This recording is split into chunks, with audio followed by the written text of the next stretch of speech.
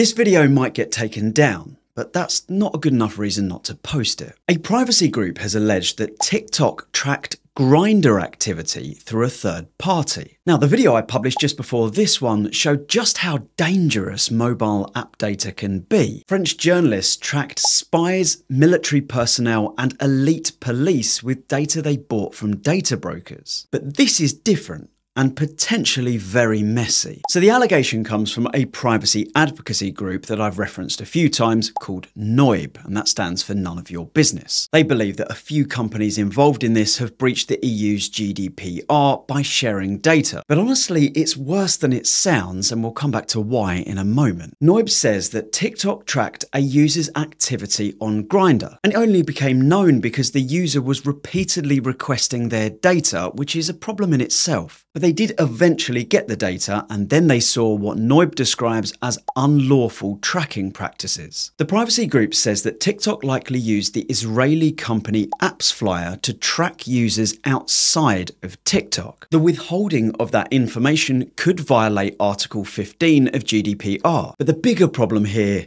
is Article 9. Grindr is an app that is primarily used by the LGBTQ plus community. So this particular data share allows conclusions to be drawn about the user's sexual orientation. The use of this sort of sensitive data is extremely limited under Article 9, which is put in place to protect people from discrimination around sex life and sexual orientation. This isn't just abstract legal theory. In some countries, that sort of data could get people hurt. Look, it's bad enough that apps can track you from app to app, and I don't think that better targeted ads is a remotely adequate reason for doing so. But if TikTok really did gather such sensitive information through cross app monitoring, it turns this problem a lot darker.